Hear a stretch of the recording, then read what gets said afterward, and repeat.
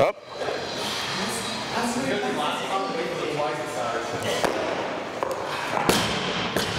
Okay, just a little bit forward, right?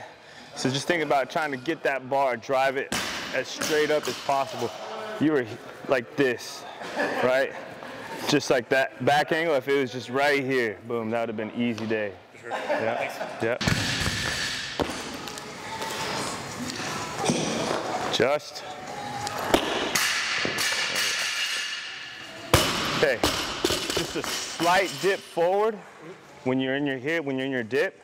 You kind of dipped a little forward and then drove, which made the bar go forward.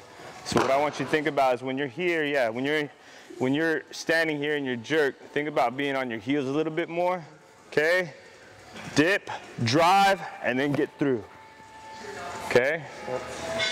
If I'm watching you from the side, that barbell should go straight down, straight up. Shouldn't go forward. Okay?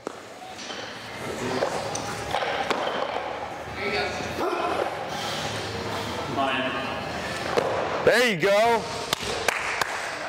Nice. Oh yeah, good job, man. That looked good. Torso is vertical on that dip. You drove through, boom. That was an easy jerk.